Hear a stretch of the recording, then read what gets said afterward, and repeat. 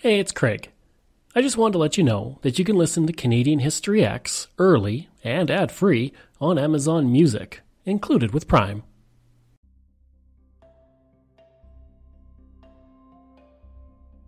Greetings and welcome to another episode of Canadian History Ehx. Before I continue, you can support the podcast through Patreon by going to patreon.com slash CanadaEhx. There you'll find multiple tiers to choose from from $3 to $100 a month, and every dollar helps keep this podcast going. Throughout Canadian history, there have been many landmark cases, but few are on the same level of importance as Edwards versus Canada, also known as the Persons Case. The Persons Case would be decided in 1929, but its origins date back over a decade to 1916. It was in that year that Emily Murphy and a group of other women attempted to attend the trial of Alberta women who were accused of prostitution. Murphy and those women were denied entrance to the trial because, as was stated, it was not fit for mixed company. Now, before I go any further, I want to look at Emily Murphy. Throughout this episode, I'll also look at each of the famous five, as the women came to be called. Murphy was born in Cookstown, Ontario in 1868, and she would often spend time with her two older brothers, something her father encouraged, and she would share responsibilities with them equally. Emily Murphy was heavily influenced by her grandmother, Ogle Gowan, who founded a local branch of the Orange Order in 1830, as well as her uncles, who were a Supreme Court justice and a senator. At the age of 21, she would marry and have four daughters. Once her children were living their own lives, Murphy began to organize women's groups where housewives could meet and discuss ideas and plan group projects. She would learn about a woman whose husband sold the family farm after abandoning his wife and children, leaving them homeless. At the time, property laws did not give women any legal recourse. And motivated by this, Murphy would campaign for property rights of married women. With the support of rural women, Murphy would pressure the Alberta government so that women could retain the rights of their land. In 1916, she was able to get the Alberta government to pass the Dower Act that gave a woman legal right to one third of her husband's property. Following being denied the ability to see the trial, Murphy protested to the Attorney General of Alberta, stating, If the evidence is not fit to be heard in mixed company, then the government must set up a special court presided over by women to try other women. Her request was approved, and she became the first woman police magistrate in the British Empire. That appointment as a judge, though, would cause a major controversy. Her first case was on July 1, 1916, and she found the prisoner guilty. The lawyer for that prisoner called into question her ability to pass any sentence since she was not legally a person. While the provincial Supreme Court denied the appeal, this would begin the process towards the person's case.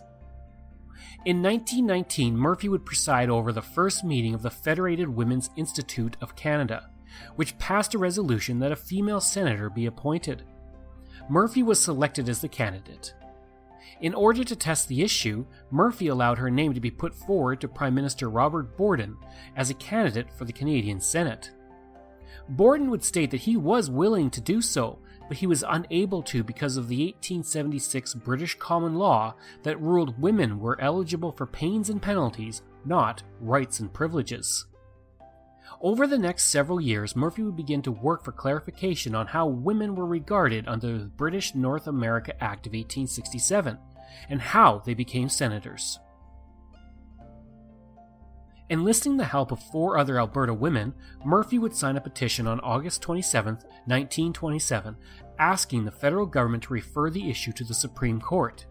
Joining her on the petition would be human rights activist Nellie McClung, ex MLA Louise McKinney, and women's rights campaigners Henrietta Edwards and Irene Parlby. We now had the famous five together. So let's look at the other members of that elite group up to the moment when they got involved in the person's case. Nellie McClung was born in 1873 in Chatsworth, Ontario, to John and Letitia Mooney, and following the failure of the family's farm, they moved to Manitoba. McClung would receive six years of education, but would not learn to read until she was nine. As an adult, she would campaign for the Liberal Party in 1915 and 1916 for the right for women to vote.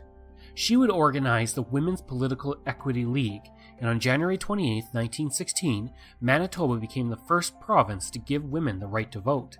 By this point, though, McClung had moved to Edmonton. In 1921, she was elected to the Alberta Legislative Assembly as a Liberal, and she served until 1926. Louise McKinney was born in 1868 in Frankville, Ontario, and came to Alberta in 1903 with her husband to homestead. She would run for a seat in the Alberta legislature in the 1917 Alberta general election, winning in the election and becoming one of two women elected to the Legislative Assembly that year. She would serve as an MLA until 1921 and spoke out in favor of temperance, education, and women's property rights. In regards to temperance, she would found the local chapter of the Women's Christian Temperance Union. Henrietta Edwards was born in 1849 in Montreal to an upper middle class family that valued religion and culture. As a young woman, she founded a working girls' association to provide meals, reading rooms, and study classes. After marriage and a move to Indian Head, in what would one day be Saskatchewan, Edwards continued to push for women's rights.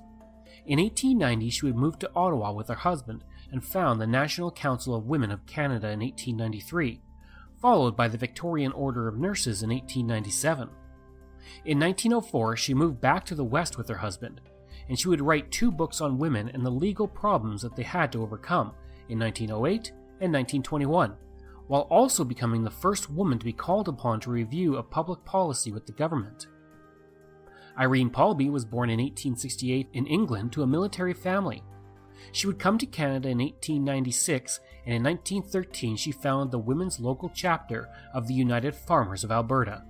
In 1921, she was elected to the Alberta legislature and would hold the position of MLA for 14 years and become the first woman cabinet minister in Alberta history.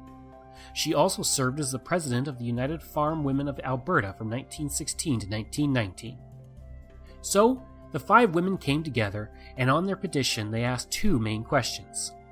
The first was Is power vested in the Governor General in Council in Canada, or the Parliament of Canada, or either of them to appoint a female to the Senate of Canada? The second was Is it constitutionally possible for the Parliament of Canada, under the provisions of the British North America Act or otherwise, to make provisions for the appointment of a female to the Senate of Canada? By this point in Canadian history, most women had achieved the right to vote. Manitoba, Saskatchewan, and Alberta gave the right to women in 1916, followed the next year by British Columbia and Ontario, and then Nova Scotia in 1918. New Brunswick gave the vote to women in 1919. Prince Edward Island did the same in 1922. In May of 1918, most women over the age of 21 could also vote in federal elections, and women could be elected to the House of Commons as well. Agnes MacPhail would do so in 1921 when she was elected to Parliament. Ernest Lapointe, who was the Minister of Justice, reviewed the petition and recommended that the questions be narrowed down to one, which related to women being appointed to the Senate of Canada. On October 19, 1927, the Cabinet submitted the question Does the word persons in Section 24 of the British North America Act of 1867 include female persons? to the Supreme Court. Emily Murphy was unhappy with the narrowing down to one question and asked that the original two questions be submitted to the Supreme Court, with one more added. The third question would be if any statute be necessary to qualify a female to sit in the Senate of Canada, must this statute be enacted by the Imperial Parliament, or does power lie with the Parliament of Canada or the Senate of Canada? In the end, though, the group accepted the single question posed by Cabinet the Supreme Court would hear the case on March 14, 1928, issuing its decision on April 24, 1928. Chief Justice of Canada, Francis Alexander Anglin, would review the provisions of qualifications to be a senator, including that the person had to be at least 30 years old, a British subject, own real or personal property worth $4,000, and live in the province that they are appointed to. He also described the qualifications as containing the pronoun he, which contributed to the argument that only men could be appointed to the Senate. In the end, all five justices held that qualified persons under Section 24 of the Act did not include women. Now, there is a common misconception that the Supreme Court held that women were not persons, but the majority of the Supreme Court stated that there was no doubt that the word persons, when standing alone, includes women. The court made it clear in this judgment, but the Supreme Court did not answer directly the question posed by the government, giving its own interpretation instead. The formal judgment of the court was understood to mean Are women eligible for appointment to the Senate of Canada? The question is answered in the negative. At the time, unlike now, the Supreme Court was not the final arbiter of the constitutional questions of Canada. At this point, the famous five took the case on appeal to the Judicial Committee of the Privy Council, which was the court of last resort in the British Empire. On October 18, 1929, the Lord Chancellor, Lord Sankey, found that the meaning of qualified persons could be read to include women, which reversed the decision by the Supreme Court of Canada. In his ruling, he wrote, The exclusion of women from all public offices is a relic of days more barbarous than ours, and that to those who ask why the word person should include females, the obvious answer is why should it not? With that, the person's case was completed. Henrietta Edwards would say of the decision This decision marks the evolution of sex in politics. Personally, I do not care whether or not a woman ever sits on the Senate but we fought for the privilege for them to do so. We sought to establish the personal individuality of women, and this decision is the announcement of our victory. One woman interviewed in British Columbia stated, The iron dropped in the souls of women in Canada when we heard that it took a man to decree that his mother was not a person. Murphy would state, It should be made clear that we are not considering the pronouncement of the Privy Council as standing for a sex victory but rather as one which will now permit our saying we instead of you in all affairs of state. One year later, Cairine Wilson was appointed to the Senate of Canada on February 15, 1930. Now let's go back to the five women who helped make this possible. I will acknowledge that several of the famous five were advocates for the terrible eugenics movement of Alberta, but I am not going into detail on this as I am saving this for a future episode of the podcast. Irene Parlby would continue to serve in the Alberta legislature until 1935 and work for the rights of women and for public health care services, the establishment of municipal hospitals, and mobile medical and dental clinics. She would live until July 12, 1965, dying at the age of 97, and was the last surviving member of the famous five. In 1966, she would be commemorated as a person of national historic significance by the Government of Canada. McClung would continue to be a popular and accomplished author through her lifetime and would live until 1951, passing away at the age of 77. In 1954, she would be named a Person of National Historic Significance by the government. Her home in Calgary, that she lived in from 1923 to the mid 1930s, was also designated as a heritage site, as were two other homes that she lived in. Louise McKinney would pass away only two years after the case was decided in 1931 at the age of 62. At the time of her death, she was the vice president of the World Organization of the Women's Christian Temperance Union. In 1939, she was recognized as a person of national historic significance. Henrietta Edwards would live two years past the judgment, passing away on November 10, 1931, at the age of 81. In 1962, she was recognized as a person of national historic significance. As for Emily Murphy, the woman who helped get things rolling, she would never get the opportunity to sit as a senator. Prime Minister William Lyon Mackenzie King was a liberal, and Murphy was a partisan conservative, so she was passed over in favor of Wilson in 1930. In the 1930 election, R.B. Bennett would become Prime Minister, and despite being a conservative, Murphy was denied the chance to sit in the Senate in 1931 because the vacancy was caused by the death of a Catholic senator, and Murphy was a Protestant. Murphy would die in 1933, never reaching the Senate of Canada. Her home in Edmonton would be listed on the Canadian Register of Historic People and Places, and in 1958 she would be recognized as a person of national historic significance. On June 11, 1938, a plaque commemorating the five women was unveiled by Prime Minister William Lyon Mackenzie King, which we can hear in this clip from CBC. Today, when the problems of government the world over are essentially human problems, and our very homes and all that we hold most sacred are threatened by appalling dangers from without and by subversive forces from within, it is well that our national existence should be fortified by the participation in its affairs of those who are so exceptionally qualified to contribute to human well-being and to the preservation of the foundations of home and community life. It is with thoughts and convictions such as these that on behalf of the Canadian Federation of Business and Professional Women's Clubs, I now unveil the tablet which the Federation has erected in honor of the five women whose names it records. We now introduce one of the five women, an author, a well-known speaker, and the woman member of the Board of Governors of the Canadian Broadcasting Corporation, our own uh, Mrs. Nellie L. McClung.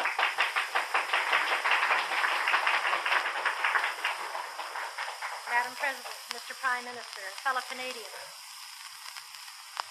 I desire to thank the Prime Minister and the President, too, for their kind words. And I thank the Prime Minister still more for the kindness he showed to our little petition when it was just a little scrap of paper going the rounds and not very welcome anyplace. I also wish to thank Newton Wesley Rowell for his kindness in taking our petition to the Privy Council. And I also wish to thank Lord Sankey for his glorious decision. so clear cut and unmistakable and unanswerable. I would like very much tonight, dear friends, if I could express the corporate mind, not only of the five of us, but of all the people who have advanced the cause of women, by ways seen and unseen. The great unnumbered, unremembered, and unknown people who have done so much for us. The people whose names will never appear in the papers. People whose names we will never know. Because it has been a long task. It, was a, it has been an epic story, this rise of women. They had to begin from so far down. Women had first to convince the world that they had souls, and then that they had minds, and then it came on to this matter of political entity. And uh, the end is not yet. we fear that there are still people who would sign a minority report. Now, I do wish to pay my tribute of love and admiration to the other four women, whose friendship I enjoyed and treasured, for their loyalty, for their love, and for their steadfastness, for their wonderful companionship. Mrs. McKinney, Mrs. Muir Edwards, Mrs. Parlby, whose message you will hear just in a moment. And particularly, I wish to give my tribute of praise to our undaunted and indomitable in, incomparable leader, Emily F. Murphy. She didn't care who got the honor. She was never one to care who got the vote of thanks. She would joyfully pin a medal any time on somebody else. And you know, dear friends, I can't help but saying it now that we're all here together. That we would all be able to accomplish a great deal more if none of us cared who got the credit. And tonight, if she is listening from some of the islands of the blessed, I'm sure that there is no person who will hear the words of this ceremony with a lighter and a merrier heart. As for the famous five collectively, all five would be named honorary senators by the Senate of Canada in October of 2009.